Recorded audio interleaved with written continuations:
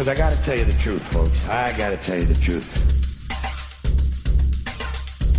When it comes to bullshit, big time, major league bullshit, you have to stand in awe of the all time champion of false promises and exaggerated claims religion. Think about it. Religion has actually convinced people that there's an invisible man living in the sky who watches everything you do every minute of every day. And the invisible man has a special list of 10 things he does not want you to do.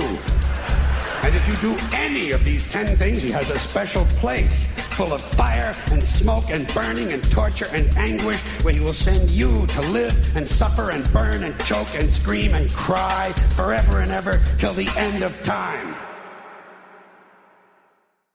But he loves you.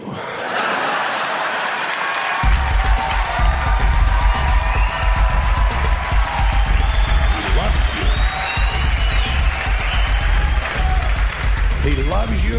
And he needs money. He always needs money.